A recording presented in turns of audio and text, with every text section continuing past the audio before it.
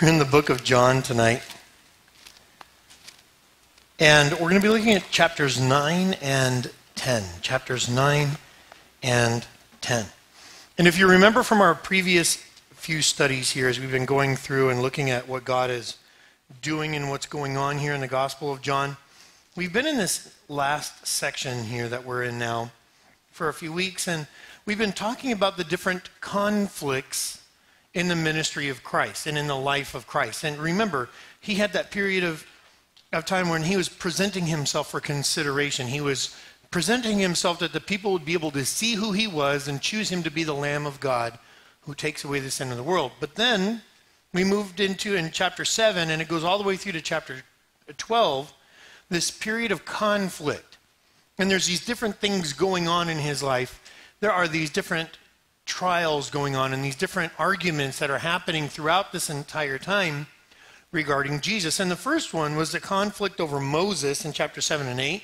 And then in chapters 8, the rest of chapter 8 was the conflict over Abraham, and we looked at that last time. Now, tonight we continue to go through, and if you remember that Moses was, if you remember, he represented the law. Moses represented the law.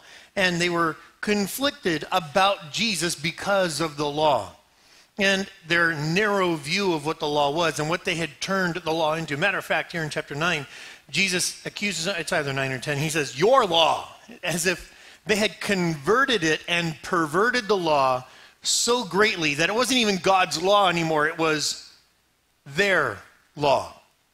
And so they had this, this relationship with the law that was improper. And then we saw in the rest of chapter 8 from verse 13 on that they were arguing with Jesus about Abraham. Now, Abraham represented faith, and we were looking at this idea of faith, this idea of how we need to have faith. And now we are going to be looking at this conflict over Jesus' sonship, eh, that Jesus is the Son of God.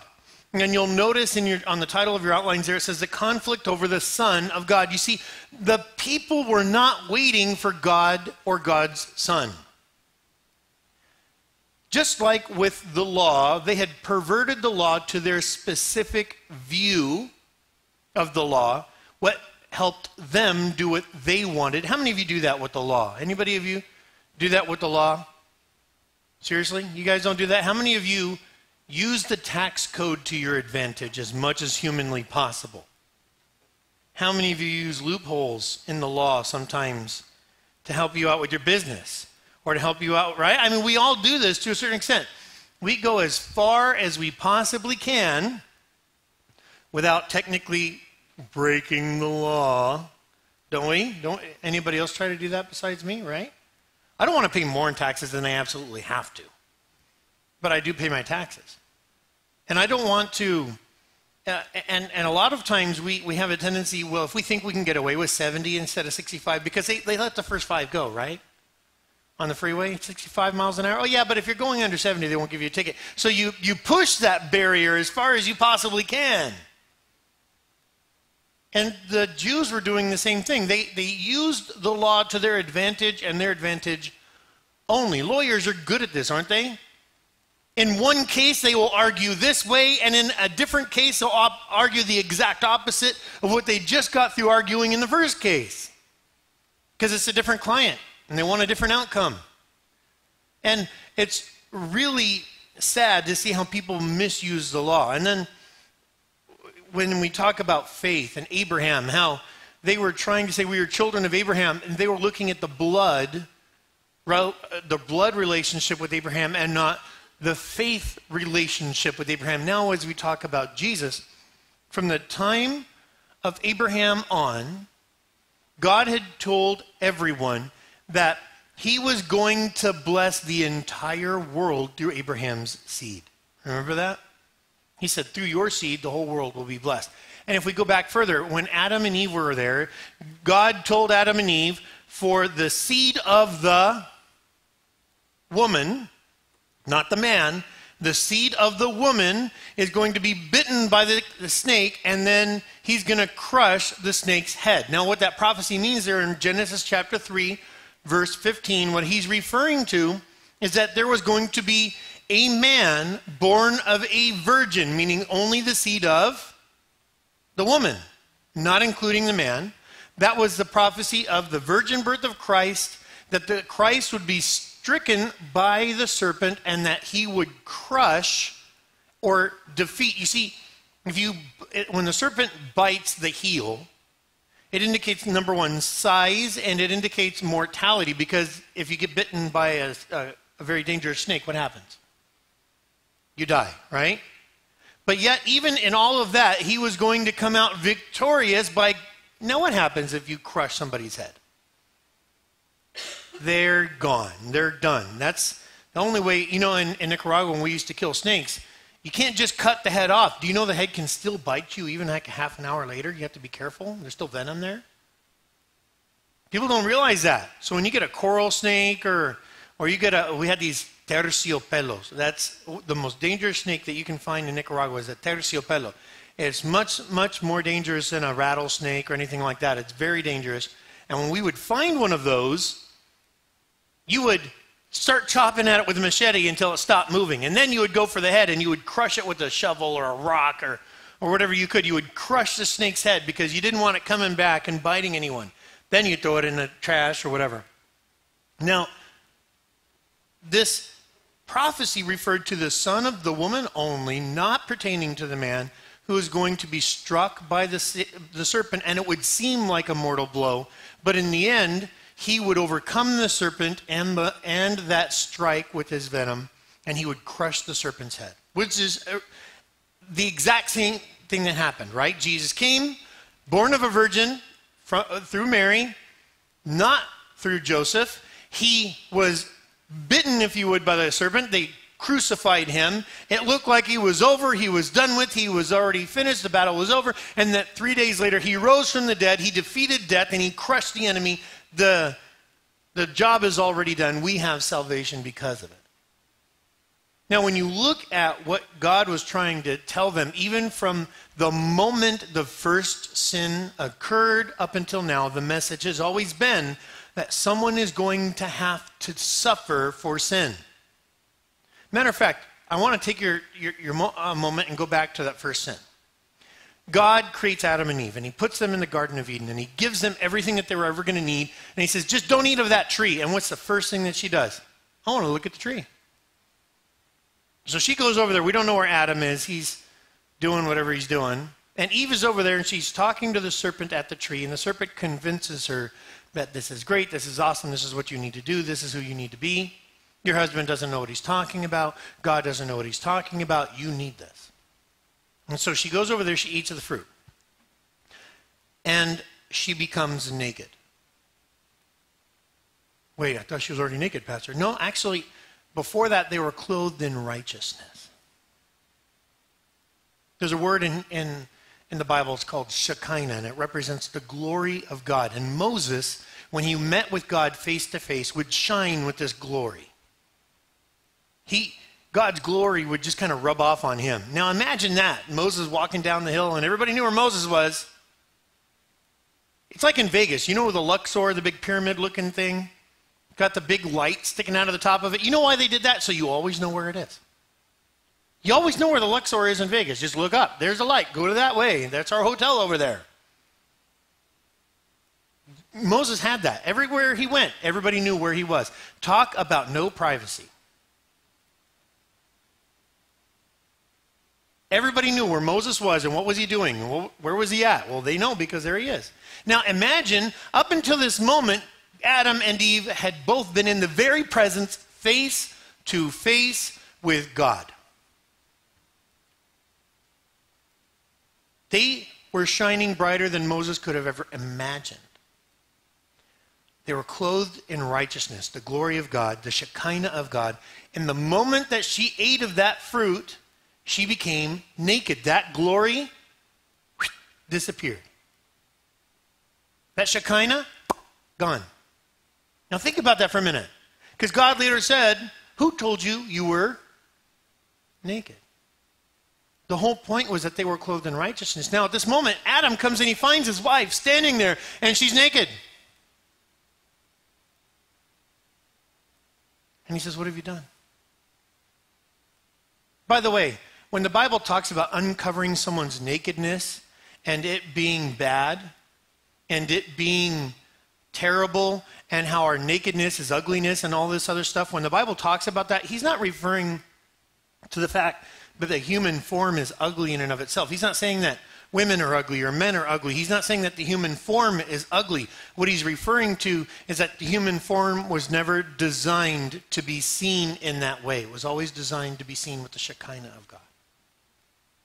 The reason we wear clothing today, the reason that we are required to wear clothing today is to represent sin and the lack of the covering of God's righteousness over our bodies.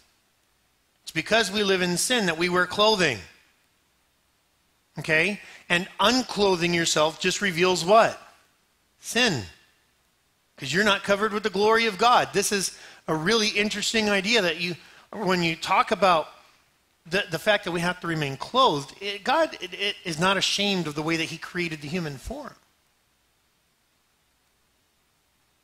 It's just really sad of what we've done with it since He created us. Now, I, Adam sees his wife. She's not clothed anymore with the righteousness of God. And he goes and he says, What's going on? And she says, I ate, so here. And he has to make a choice. There his wife is standing. And remember, he knew what it meant to be lonely. He knew what it meant to be sad. He knew what it meant to not have anybody to, comparable to him. And he made a conscious choice. Matter of fact, Paul said it this way For man was created first and then Eve, and man was not deceived but the woman, being deceived, ate of the fruit and gave it to her husband. It's very interesting what that means. You see, Eve was deceived by Satan. Eve really thought that in the end she was going to be like God if she ate of the tree of the knowledge of fruit of good and evil. But the reality was is that she became the furthest thing from God, and the glory of God stopped covering her. Now Adam comes over, sees what his wife has done, and he sees that he is going to lose her. He has a choice. I can tell God what she's done, and she's going to die. Because the Bible says, In the day that you eat of it, you shall surely die. So he had to make a choice. The problem was his human perspective. He, he wasn't thinking at this point. He was thinking with the, he was using his emotions and not logic. He still had a bunch of ribs left.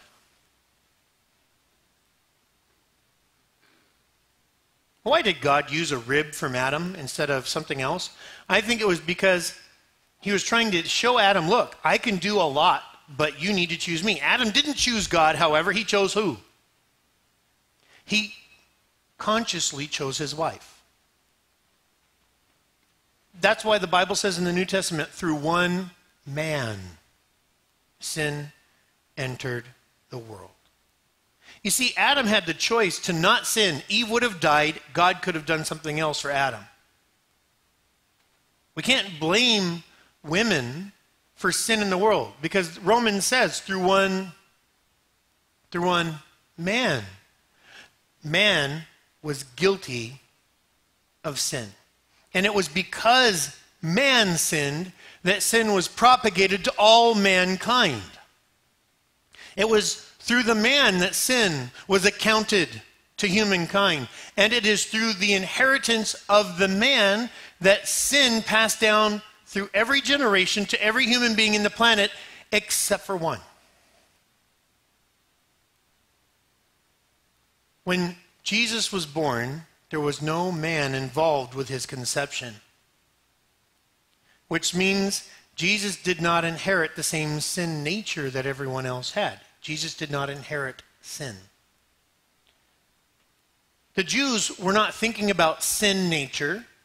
The Jews were not thinking about defeating their lust or their pride or their arrogance. They were only thinking about getting rid of the Romans. And because they were so sidetracked with their own desires, they never really stopped to think about what was going to happen next. Now, going back to Genesis, Here's Adam and Eve. God gives them this there in Genesis 3:15. He gives them this prophecy about the coming Messiah, and then he does something else. It says that God made them clothing of animal skins. Do you realize that the first thing to die in the entire universe was killed at God's hand? I want you to consider that for just a moment. The first living thing to ever die was killed at the hand of God. What was it? I believe it was a sheep. While the Bible is not very specific in that nature, we do find out that Cain and Abel were both very, very good workers. One worked with vegetables, Cain, for all you vegetarians out there. And one worked with who? Sheep. Now, why were they herding sheep? Why did the first two people to be born to mankind, why were they focused on sheep? Well, it says that Cain, he brought his vegetables and God did not receive them, but Abel brought his sheep. And God received the sheep. Why? Because in that moment that Adam and Eve sinned, God took one of these sheep and God showed Adam without the shedding of blood, there is no remission of sin. So God kills this sheep so that Adam and Eve didn't have to die that day. Remember what God said? In the day that you eat of it, you shall surely die. But they didn't die. Why not? Because God killed a sheep in their place that they wouldn't have to die. And from that moment going forward, mankind knew that without the shedding of blood, there is no remission of sin. And then in the Old Testament, when we get to the books of Moses, when we get to Exodus, we find out that the lamb that takes away the sin of the people has to be pure and perfect, and it has all these requirements. And then by the time we get to Christ, we understand one thing someone had to die for the world. Someone had to die for mankind. This person had to step in. It couldn't just be an animal, it had to be a human being who was perfect, who matched all of the criteria from God, and who was able to raise from the dead on his own. Now, I want you to think about that. There was only one possible person in the world who met those qualifications. It had to be the Son of God. God, who came down in earthly form, perfect in all of his ways, to willingly die for our sins, that we would not go to hell, that none would perish if they believe in him, but they would have everlasting life. The Messiah was not just to be a human, he had to be fully God and fully man at the same time. We call that, by the way, the hypostatic union. Hypo, H Y P O, static. don't ask me to spell that. And union. Hypostatic union. And what that means is that Jesus was fully God, yet fully man at the same time. He wasn't God in heaven and then man when he was on earth and then God when he went back up into heaven. That's duality, and that doesn't work because then he wouldn't have been able to raise from the dead. He wasn't just part God, part man. He wasn't half God, half man like Hercules. He was fully God and fully man at the same time. So he's not God's son in the sense of a human father and son. God didn't have a sexual relationship with Mary and, and together with her produce a son. No. He was conceived of the Holy Spirit. So the Holy Spirit is the one that made her conceive. If you remember, uh, Luke 135 declares, The angel answered, The Holy Spirit will come upon you, and the power of the Most High will overshadow you. So the Holy One to be born will be called the Son of God. And it was very specific. Now, Jesus is fully God and fully man, and this is so important. He lived a human life, but he did not possess a sin nature, which is why he could die for us. Now, Jesus had to meet all of the requirements of a holy God before he could be an acceptable sacrifice for our sin. And since the fall of man, the only way to be made right with God has been what? The shedding of blood. So now, if, if Jesus was merely a good man, as some people claim, then he had a sin nature and he wasn't perfect and his sacrifice wasn't enough to save us. Wouldn't work. And if he wasn't a real human being, he couldn't stand in our place and give a permanent replacement for that sacrifice that we needed. He had to be both fully God and fully man. Now, this concept, the Jewish leaders at the time did not understand. Why?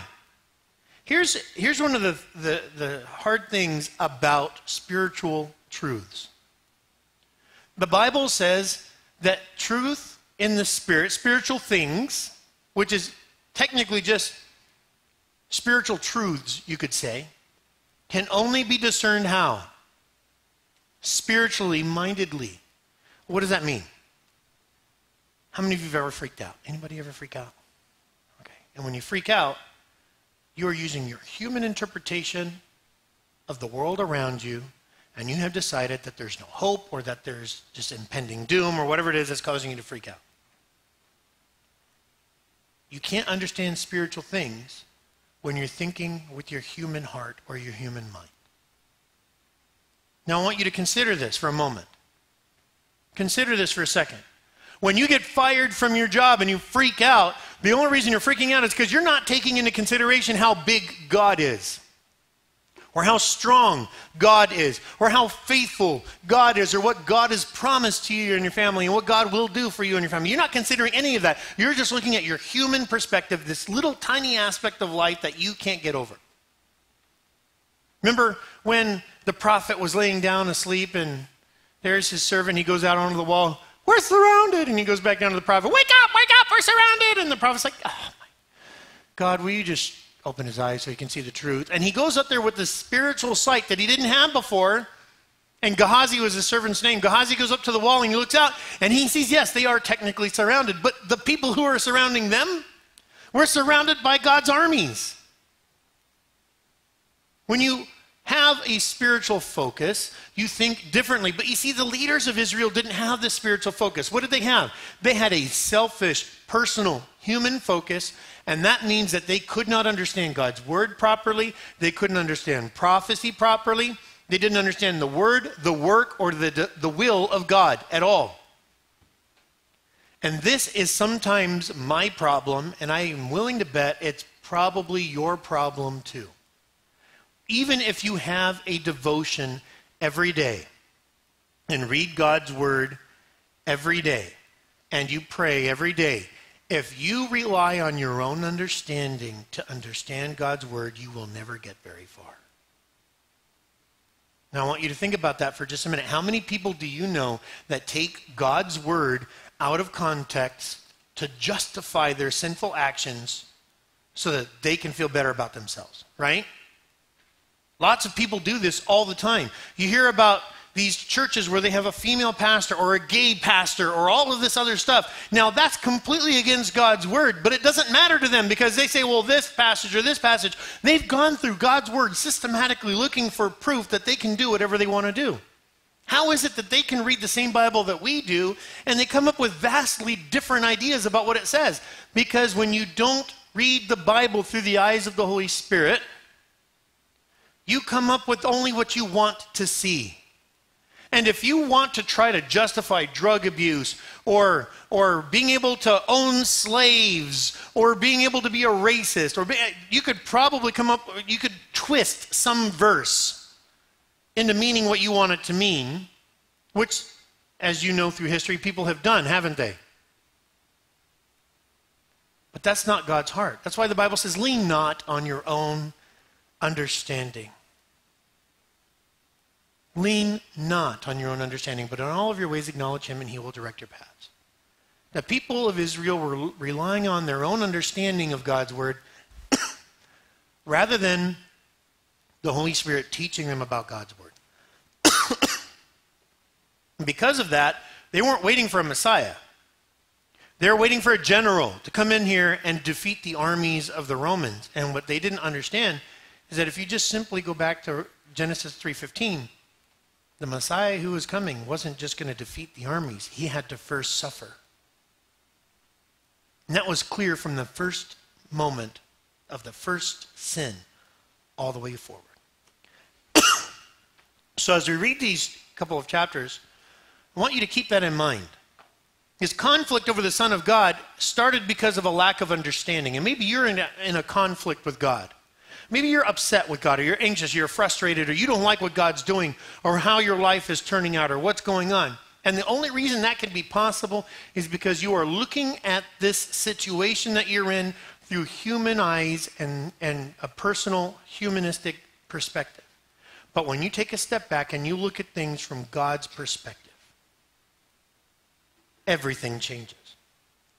Now, it says here in verse 1 of chapter 9 now, as Jesus passed by, he saw a man who was blind from birth, and his disciples said to him, Hey, Rabbi, teacher, who sinned? Was it this guy? Or was it his parents that he was born blind? Somebody messed up. Who was it? Now, I imagine that you're driving down the street and you see a car that's all tore up.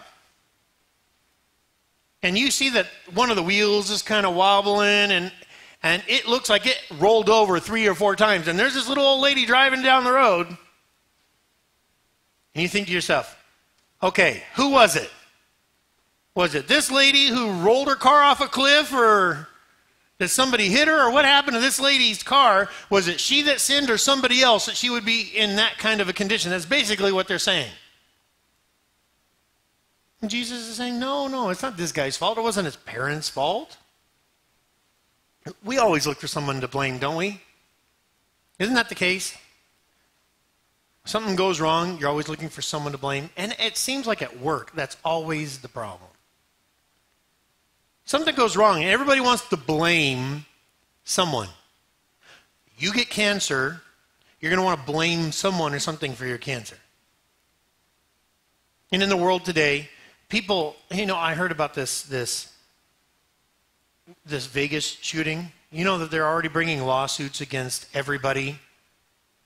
They're already starting to file lawsuits against Jason Aldean, the country singer singing on the stage of the uh, against the hotel who owned the property where the the Mandalay Bay owns the property where that concert was going on. And so they're bringing MGM owns all of it. And so they're bringing lawsuits against MGM.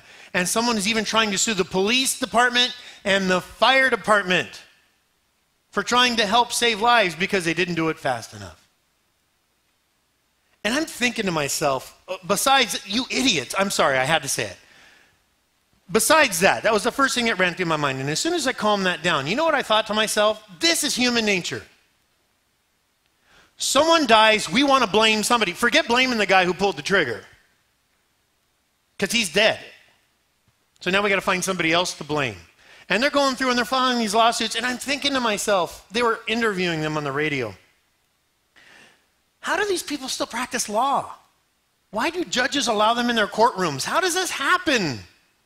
But I was thinking about it a little bit more, and we're the same way. We're like these disciples. We always want to blame somebody for what's going on. Forget entropy. Forget that through one man sin entered the world through sin death, and thus death is passed unto all men. Guess what? If you get cancer, it's not just because you ate some kind of food or you lived under power lines or you were eating lead paint chips as a kid. It's because death is in the world because of sin. And whether it's cancer or a Mack truck or you fall off a cliff, you're going to die someday. Do you all understand this concept? You're all going to die, some of you sooner than others. Now, I am not advocating that you go out and you not take care of yourself. Wear your seatbelt, eat vegetables every once in a while, okay?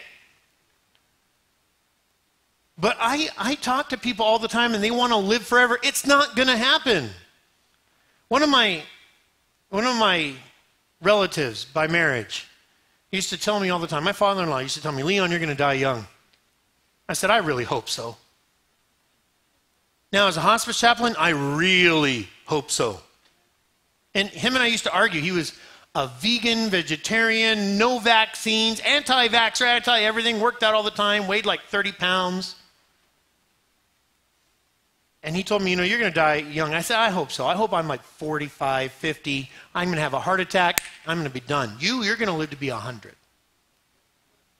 In the last 40 years, you're going to be in some nursing home. Nobody's going to come to visit you, and some guy named Bubba changing your diapers. I don't want to live that long, just so y'all know. Now, you might think I'm joking, but let me just tell you what the Bible says. Paul, I think, and I shared the same vision of life. To, for me to live is Christ, and to die is gain. I don't want to outlive my usefulness to Christ. When Christ is done with me, I want to go home. I'm not going to prolong misery, and that's all that awaits you, by the way. Ask somebody who's older, and they'll tell you.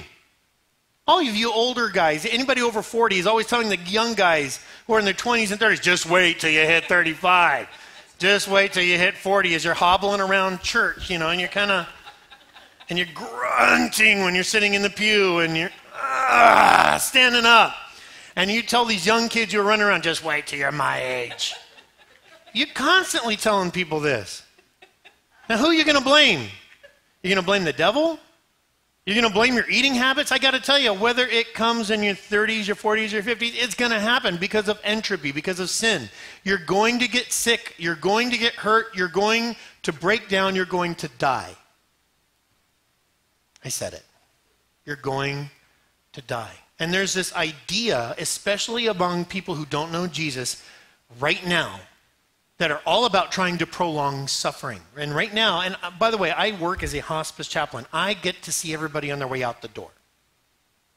That's my job. Every day I pray for people who are actively dying.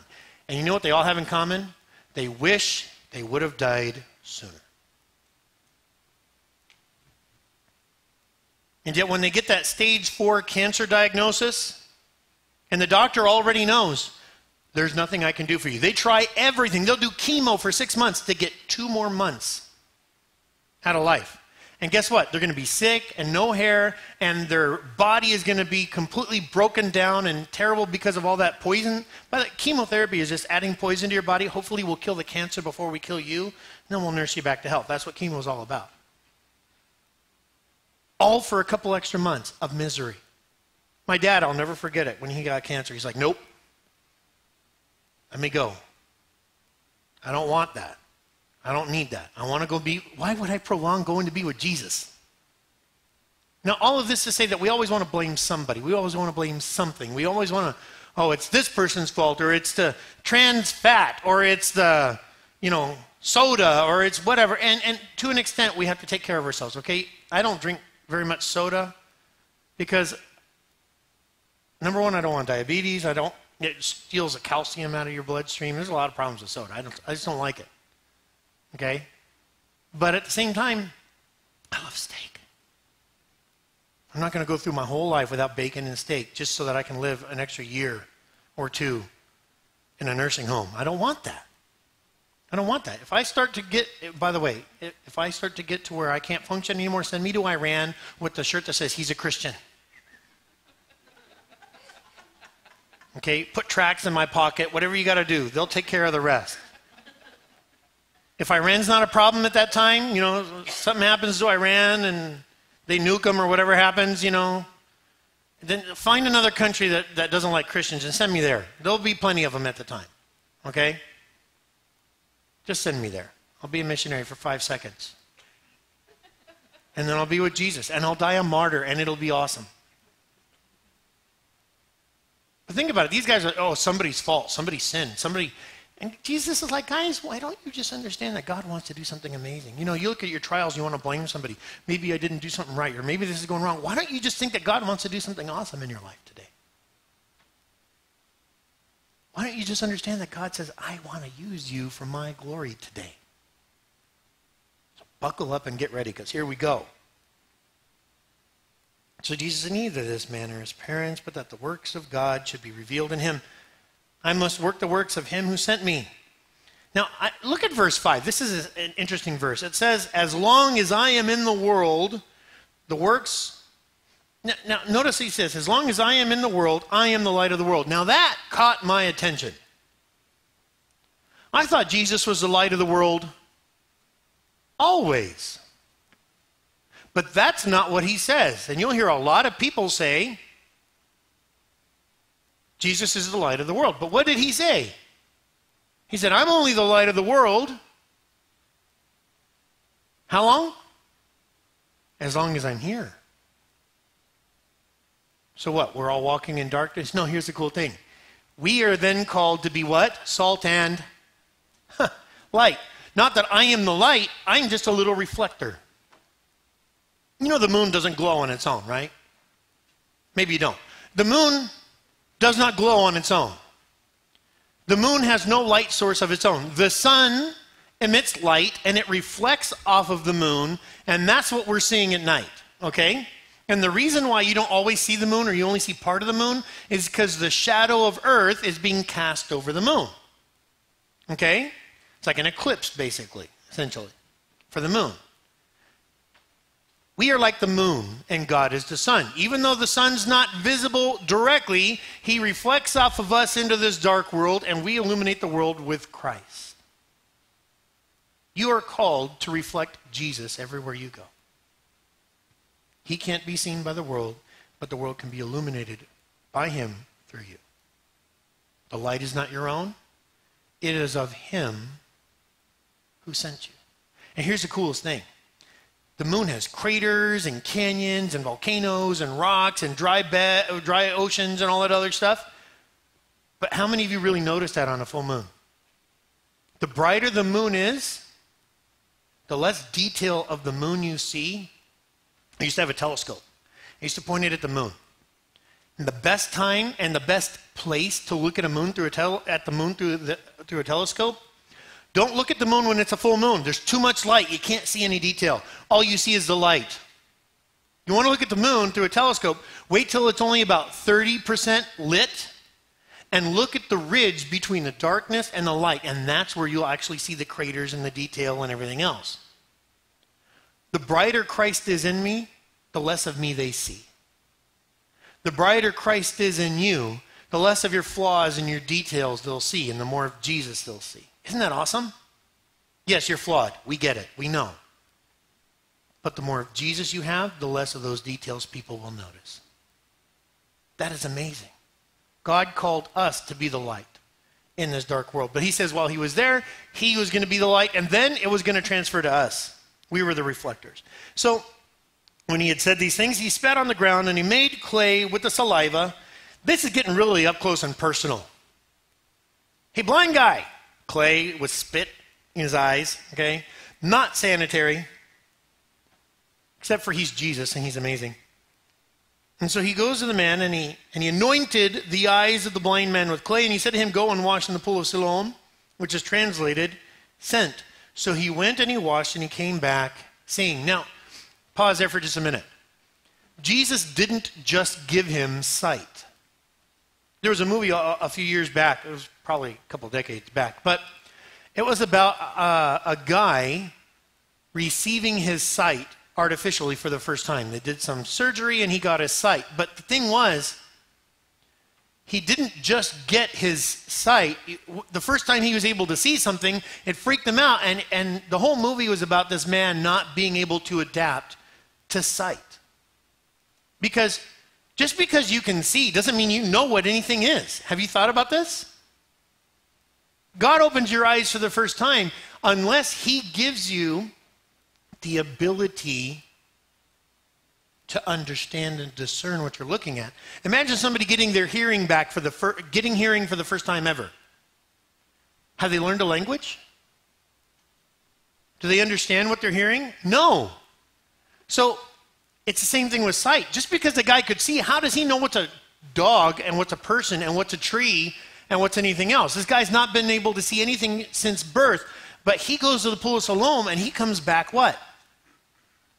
Seeing, and not just seeing, but interpreting what he is seeing and understanding what it is. God didn't just give him the ability to see, but the ability to use sight, and that's amazing. God doesn't just leave you hanging. He doesn't give you a car and not teach you how to drive it. Or He doesn't give you this, this gift and, not, and just leave you hanging. Oh, go figure it out on your own. No, He gives us gifts and He gives us His word and He teaches us how to use them and He walks us through it. Imagine giving your kid a bike and not ever teaching him how to ride it. It's never going to get used. God doesn't just give this person sight, He gives him the ability to use his sight. And so the guy comes back seeing. Therefore, the neighbors and those who previously had seen that he was blind, I mean, it's not like the guy was there for two days and all of a sudden he, no, they knew him since he was birth. They knew, that's John. John was blind before. John, can you see me? Yeah, I can see you. How many fingers am I holding up? What's a finger? No, he knew. Three. And so they're there and they're, they're freaking out. And so someone said, This is he. Others said, Oh, eh, well, he's like him. Uh, maybe it's his body double or something. No. So they said to him, How are your eyes opened? We got to know. And he said, A man called Jesus made clay and anointed my eyes and said to me, Go to the pool of Siloam and wash. So I went and washed, and I received sight. And so they said to them, Well, where is he? I don't know. I was blind when I left. I didn't see which way he went. He really didn't. He was blind until he went to the pool. And so there they are. Now, I want you to write on this first line of your outline. This is really important. As we're talking about who the Son of God is, it starts with the power of the Son of God. Write that on that first line. The power of the Son of God. And the first thing that we see about the power of Jesus, the Son of God, is this power of illumination. And he uses the restoration of this man's sight to teach us about the power of the light of Christ. You see, we are all like this blind man. And we were born darkened in our sight. We couldn't see anything spiritually. We couldn't understand anything spiritually. And these people who were trying to lead Israel were just as blind as the rest of the Israelites. Spiritually, they were just as blind as this blind man. And so when they read the Bible, they were blind. And when they prayed, they were blind. And when they worshiped, they were blind. They had no possible way of understanding sight. Explain to a blind person the color blue. That's like trying to tell a non Christian about the things of the Spirit. Spiritual things must be discerned. Spiritually, color must be discerned by those who have sight. Hearing has to be discerned by those who can hear. If you try to explain hearing to a deaf person or, or colors to a blind person, it's never going to work. They will never understand. They have to retain the ability to perceive those things first in order to understand them. And that's what God is talking about when he says spiritual things must be discerned spiritually. You cannot live your entire life in darkness and expect that you understand God's word. That's why non Christians have no business trying to discern God's word. They will never understand it, they will never get it. I'm not saying they shouldn't read it, but when you have these non Christians trying to tell Christians what God's word says, nah, you don't understand it. You don't get it. Nor could you, because you're blind. You're deaf. How could you understand sight? How could you understand hearing? But when Christ comes in, when Christ enters your life, he supernaturally gives you what?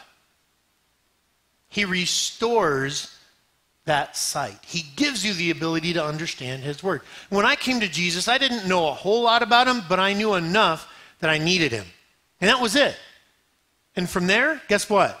He opened my heart to understand it. If you have a difficult time understanding God's word, then pray to God and ask Him, God, give me understanding. Illuminate my life that I would understand and spiritually see. So Jesus comes that we could be illuminated and that we would illuminate others, the light of the world. But second, in verse 13, all the way down to really verse 19, we see that Jesus is a stumbling block for unbelievers. This power of Christ becomes a stumbling block to those who don't understand. These Pharisees and Sadducees and all these evil people, they brought this formerly blind guy to the Pharisees. Did he go there on his own? No. Was he showing off? No. Did he want the attention? No. He was taken to them. So he goes there. Now it was the Sabbath when Jesus made the clay and opened his eyes. Uh oh. Jesus and the Sabbath are really kind of cool. It was, it was his nonviolent protest, okay? He would just do everything on the Sabbath and drove people nuts. So the Pharisees asked him again. It says they asked him again how he had received his sight. So it was Pharisees who first found the guy. It was Pharisees in verse 10, 11, and 12 who were talking to the man. Because it says they asked him what? Again. So now it's the Pharisees again in, in front of everybody. And he said to them, Well, we put clay on my eyes and I washed, and I see he made clay. That's their problem. Jesus manufactured something on the Sabbath. He spit in the dirt and rubbed it in the guy's eyes. I don't call that manufacturing personally. Jesus didn't have like a clay pot business and he took some of his clay and rubbed it in the guy's eyes. I don't see the problem here, but they did. And so some of the Pharisees said, This man is not of God because he does not keep the Sabbath. Wait a minute. Did you just walk past the entire thing that the guy can see now? We took a blind guy who had no sight. We gave him sight and the interpretation of sight. And you're focused on somebody made clay on the Sabbath? Seriously? That's all you can see? Talk about missing the forest for the trees. These guys couldn't understand the situation. They couldn't understand God's word. They were focused on the law as a way, as an end to a means, or a means to an end, I should say. The law was their way to control the people. Jesus was not submitting to them, he was out of line. That's why Jesus later said, The man wasn't made for the Sabbath, but the Sabbath was made for man. And I'm God, so I can go over Sabbath. Doesn't matter. So here they're all stumbled. Oh, I'm so stumbled. You know, that's a funny word. A lot of times there are Christians out there who say, that really stumbles me. And the Bible says, if your brother offends you, go to him. But let me just add, don't be so easily offended. There are some people out there who get so offended over everything. You drive a Toyota Camry, that stumbles me, Pastor. You, you ate a Carl's Jr. famous star? That stumbles me. I'm not joking. There was a time where I would not eat at Carl's Jr. at all because of their stupid ads. Okay? But guess what? The CEO of Carl's Jr. got up and said, We're not going to run those kind of ads anymore. We have found out that number one, they're too costly to produce and they're not very effective. I can have famous stars again. It's awesome. I won. Not me, God.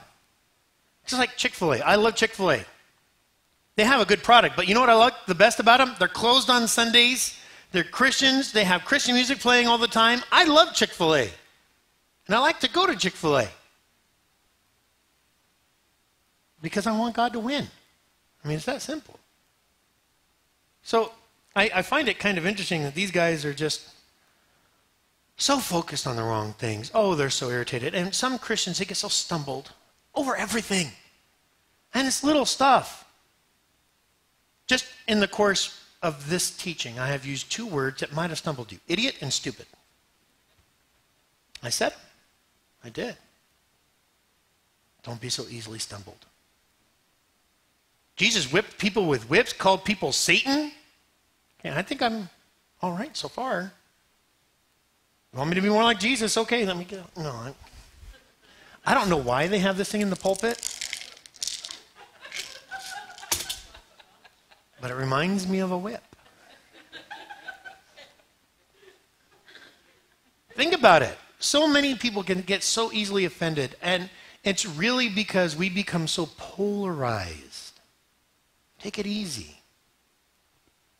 Take it easy. You can't stand people worshiping God by raising their hands? Then sit in the front and you don't have to look at it. You can't stand people not raising their hands? Sit in the front. You don't have to look at it.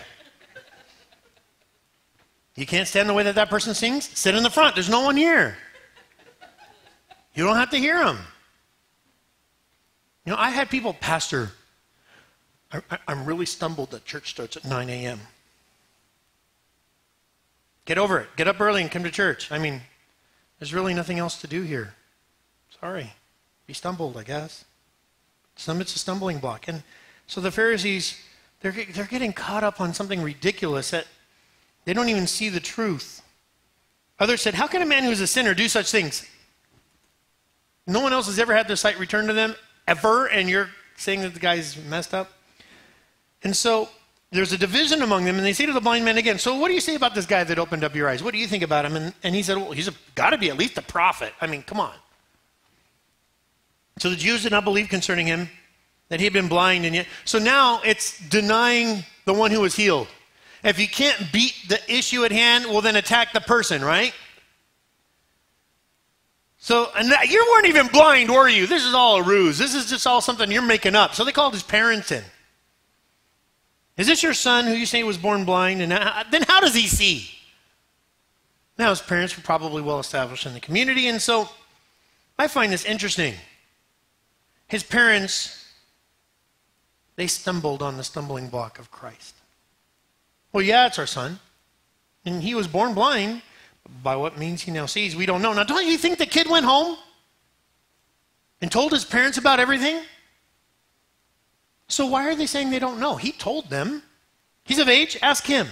He will speak of himself. His parents said these things because they feared the Jews, for the Jews had already agreed that if anyone confessed that he was the Christ, he would be put out of the synagogue. Now, the Jews know the problem. Here's the awesome thing the Jews know that Jesus is the Christ, they just don't want anybody to say it. It's like per- pretending there's not a tarantula on your pillow. I'm just going to turn the other way. Nobody better say anything about it. Seriously? Get rid of the tarantula. There's really nothing wrong as he bites you and blood's dripping down your face. It doesn't work that way. So here they are, and they're trying to pretend that Jesus isn't real, that Jesus really isn't the Christ. They knew the answer, and they're trying to put on this, this show and everything else. And even this man's parents, who would have, how many of you parents would be happy that your kid received sight? I would. How many of you parents would thank the doctor or thank the person who gave him back his sight? These parents are thrown into the face that this guy isn't real. They're siding with these incredulous, evil Pharisees rather than the man who restored their son's sight. They're choosing the world over Christ because they're afraid of losing something. I don't want to be kicked out of my club. And that's all it was to them. The synagogue was just a club, it wasn't a church. It wasn't a place of worshiping the Lord Most High. It was just a little club, and they didn't want to lose their status, and so they didn't want to turn. Now it's interesting. Ask him. Verse 24. So they called again. Now, what was a stumbling block to the evil became a boldness to the righteous. What does it say? So they called the man again. This guy is like, Can I go to the forest or the ocean or something? I want to go look at something. Why do I got to be here? Here he is. They called him again. And they said, Give God the glory. We know that this man is a sinner. You got to glorify God. Something else happened. It was an angel. It was something. Glorify God. There wasn't this Jesus guy. He's a sinner. And so he answered and he said, Well, whether Jesus is a sinner or not, I don't know. One thing I know I was blind. Now I can see. And they said to him again, Well, what did he do to you? How did he open your eyes? Did he give you medicine? Did, and, and the fellow reviled, or, I'm sorry, and he answered them, I told you already and you did not listen. Why do you, why do you want to hear it again? Do you also want to become his disciples? I love that. He's like, hey, uh, you guys want to know where he is or something? Or what's going on here? I mean, come on. And now they reviled him and said, You are, you are his disciple. Well, you follow him, but we're Moses' disciples. We know that God spoke to Moses. As for this fellow, we don't know where he's from. These are the same people he said, but isn't he Joseph's son from. They knew where he was from. And so the man answered said to them, Why is this a marvelous thing that you do not know where he is from? Yet he has opened my eyes. Now we know that God does not hear sinners, but anyone who is a worshiper of God and does his will, he hears him. Since the world began, it has been unheard of that anyone opened the eyes of one who was born blind. If this man were not from God, he could do nothing. Yet they answered, said to him, You are completely born in sin, and you are teaching us? And they excommunicated him. Here's the funny thing they were all born in sin. See, remember the thing that the disciples asked Jesus at the beginning who sinned? This man or his parents? that he was born blind. These people are saying it wasn't your parents' fault. You're the problem. This is why you're born this way. And the guy's saying, Jesus saved me. You're the blind ones. You're the ones who don't understand. And I love this. Jesus heard that they had cast him out, that they excommunicated him. This guy was never going to be allowed back in the synagogue again. And let me tell you, he was all the better for it. If you're holding on to some club or some human recognition rather than following Jesus, you're going to lose. Who cares? Leave all that behind. Follow Jesus. And when you do, that's salvation to the lost. Notice that this power of Jesus is not just boldness to the righteous, but it's salvation to the lost. It says here, and Jesus heard that they cast him out, so he found him. He said, Do you believe in the Son of God? And he says, Hey, just show him, show me who he is, and I'll believe in him. And Jesus said to him, You have both seen him, and it is he who is talking with you. And he said, Lord, I believe. And he worshiped him. Now, notice what Jesus says For judgment I have come into the world that those who do not see me, that do not see may see, and those who may see may be blind. Now, then some of the Pharisees who were with him heard these words. So apparently, this guy was excommunicated. And some of the Pharisees, remember, they were torn.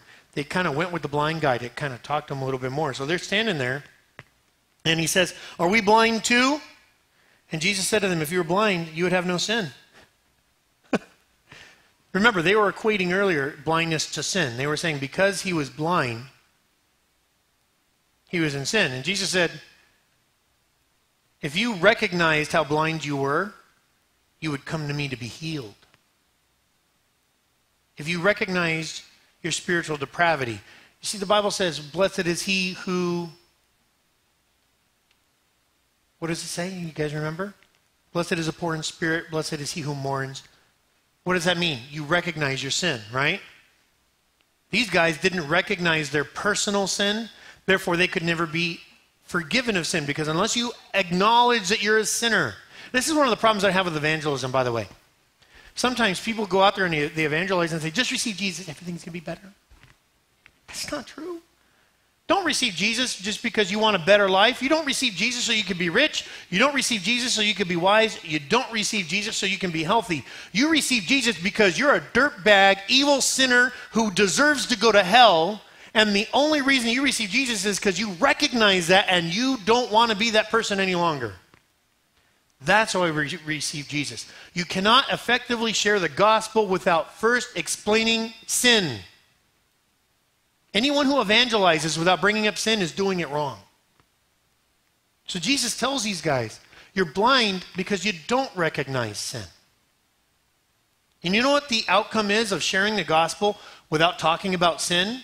People continue in sin. They may come to church for a little while and then they fail and they never get, get anywhere in life because they've not dealt with what?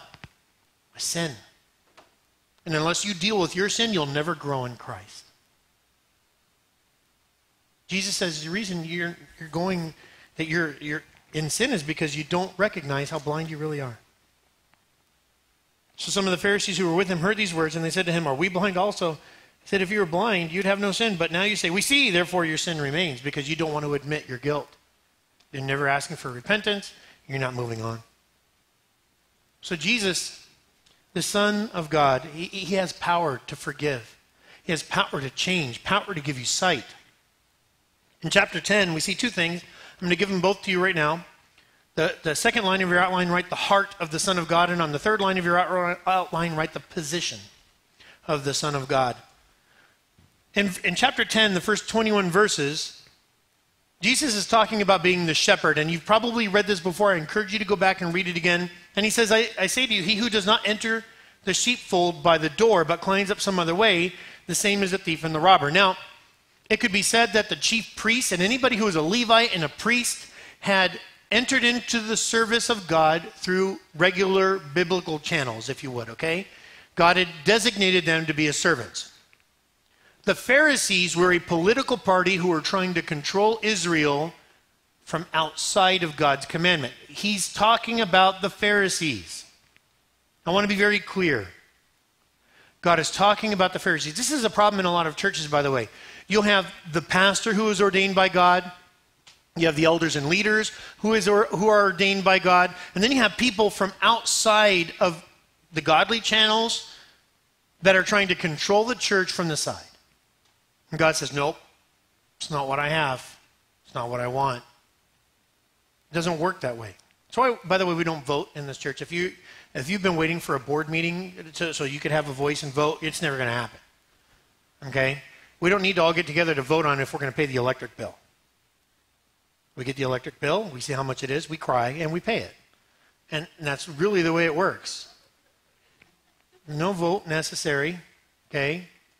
We just take care of business because God is the one who's set this stuff up. And it's interesting that Jesus is saying, listen, you guys can't follow the Pharisees. Why? Because the Pharisees, they're not ordained by God, they weren't chosen by God.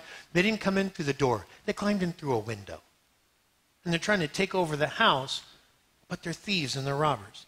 And he said to them again in verse 7 that I am the door of the sheep. You know, it's interesting. There's my favorite book that's not the Bible, but a secular book, if you would, is Pilgrim's Progress. And in that book, it's all about going through the door. The door is Jesus. You can't get to heaven by good works. You can't get to heaven because you know biblical prophecy. You can't get to heaven because your wife or your husband or your parents or your kids are Christians. You have to go through Jesus. He said, I am the way, I am the truth, I am the life. No one comes to the Father except for through me. You can't get there through the Pharisees or the Rotary Club. You can't get there through Calvary Chapel. You can't get there through Pastor Leon. You can only get to Jesus if you have a personal relationship with Him. And then through Jesus, guess where you get to go? To heaven, to, to the Father. The heart of the Son of God is to save, and it's to be a good shepherd, as he says in verse 11. And and, notice in verse 13, the hireling flees because he's a hireling. I am the good shepherd in verse 14, and I know my sheep. See, Jesus is personal. Jesus is there, and he wants to have a personal relationship, and that's his heart. Jesus came that you could have a personal relationship with God, not through some priest, not through some pastor, not through some denomination, not three times removed. Jesus wants you to have a personal relationship with him. The Pharisees wanted you to have a relationship with them, and they would tell you what to do, and they would pretend like they knew what God wanted. No. Jesus wants you to have a personal relationship with God. And then finally, the position of the Son of God in verses 22 through 42. And it was the feast of the dedication of Jerusalem, and it was winter, so around November, December, January time. And Jesus walked in the temple in Solomon's porch, and the, Jews, the, the Jews surrounded him. How long do you keep us in doubt? If you are the Christ, tell us plainly. you guys don't get it. I told you and you don't believe. So, isn't that basically saying yes? I told you already and you didn't believe. So, yeah. The works that I do in my Father's name, they bear witness of me, but you do not believe because you are not of my sheep, as I said to you. My sheep hear my voice. It's interesting. Jesus acknowledges that he is the Son of God. Remember when he talked to the blind man, he called himself the Son of God. Here again, I'm doing my Father's work. I am the Son of God. He, in verse 30, I and my Father are one. And they wanted to stone him again. And Jesus said, Many good works have I shown you from my Father. For which of those are you going to stone me? and they said, Blasphemy. In verse 34, Jesus answered them, Is it not written in whose law? Isn't your law, the one that you guys are always saying is yours and yours alone and all this other stuff? And I love that. God called you gods, and if he calls you gods, then to whom the word of God came and the scripture cannot be broken, do you say of him whom the Father sanctified and sent to the world, you are blaspheming because he said, I am the Son of God? Now, this is interesting. He's playing semantics with them, and it's really funny because they don't know what to say. You kind of hit him between the eyes. Is, God, is he saying that we're all gods, like the Mormons believe that you're all going to be the God of your own planet if you're really good? That's really what they believe, by the way. It's really ridiculous. They believe that you, if you are a good Mormon, the reason you're supposed to have a whole lot of kids and a whole lot of wives as a Mormon is so that you can populate an entire planet by yourself. You're the next Adam and Eve. I don't want that kind of responsibility. Is that what he's saying? No. But to these he, began, he gave the opportunity or the chance to become children of God. God made us in his own image. And he says, I want you to be my children. I, we, you know, we, we get to be sons and daughters of God too if we believe in Jesus. Isn't that awesome? So they saw again to seize him, but he escaped out of their hand. He went away. So he went beyond the Jordan to the place where John was baptizing at first, and there he stayed. And they came and they said, John performed no sign, but those things that John spoke about this man were true, and many believed. So he did these signs. John, he just did nothing, and they believed. Now Jesus is there, and he has the signs, and they believed all the more. And that's really awesome.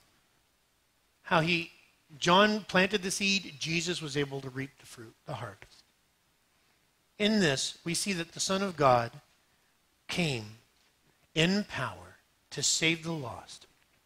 He came with the heart to have a relationship with you because he was going he is the son of god. He was going back to the father and he wanted to take us with him. Isn't that awesome? And with that let me challenge you with something. Don't try to understand your life or god's word or everybody else's life or the news through your own human perspective. But get some spiritual goggles on Get some Christ goggles on and start looking at life through the, li- through the lens of Jesus. And maybe you're blind or you're hurt or you have cancer or you got fired or you have 12 kids and you don't know how to feed them. And maybe God did that to you because he wants to do something in you and through you. Or maybe God is just ready to take you home. Whatever the issue is, look at life through the goggles of Christ and see what he's doing for you. And watch as he does something amazing in you. Let's pray. Father, we thank you for this time in your word, and we pray that as we would continue to worship you, Lord, that we would not be personally conflicted over the Son, but that we would recognize who Jesus is. Lord, that we would recognize that we need Christ for the remission of sins, that we would be saved from eternal damnation. And as we come before you today, we thank you for the provision of your Son. We thank you that he has the power to overcome sin. We thank you that you have chosen us to reflect the light of Christ in this world. And we pray that we would shine brightly for him today. In Jesus' name, amen. God bless you and have a wonderful evening.